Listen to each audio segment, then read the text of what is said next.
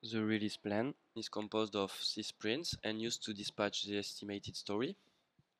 To organize my sprints, I drag my two story from the widget toolbar to my first sprint.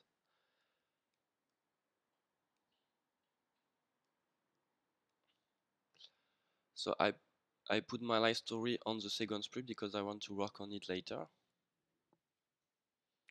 I can now activate the sprint and open it. So here I can activate